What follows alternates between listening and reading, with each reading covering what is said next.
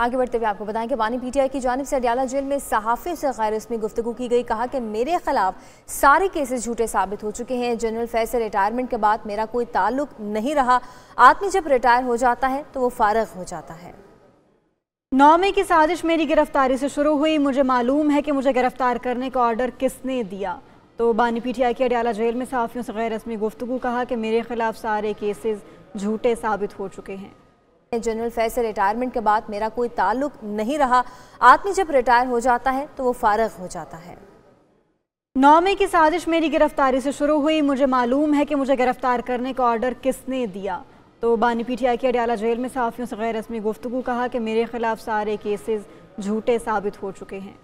General Faiz से retirement के बाद मेरा कोई ताल्लुक नहीं रहा। आदमी जब रिटायर हो जाता है तो वो फारग हो जाता है।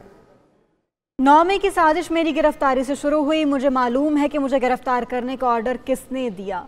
तो बानी पीटीआई की अडियाला जेल में साफियों से गैर रस्मी गुफ्तु कहा कि मेरे खिलाफ सारे केसेस झूठे साबित हो चुके हैं।